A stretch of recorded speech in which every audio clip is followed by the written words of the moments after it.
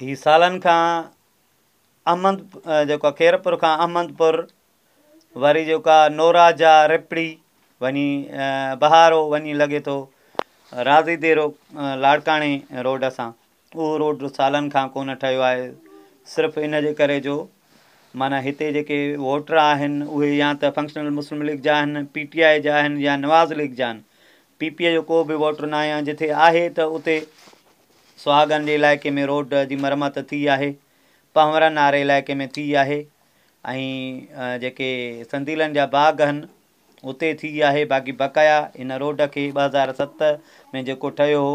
हिन वक़्तु ॿ हज़ार सत्रहं खां ॾहनि सालनि में बक़ाया को बि कमु न कयो वियो आहे यानी की हिकिड़ो रियून लॻी रहियो आहे त जो दड़ो आहे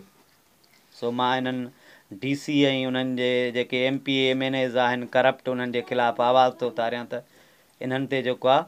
अलाह जो जेको अज़ाबु ईंदो जो आवाम खे उन्हनि जेको आहे मुसीबतुनि में मुबतला कयो आहे ऐं इन जे करे वॾा हादसा पेश अची रहिया आहिनि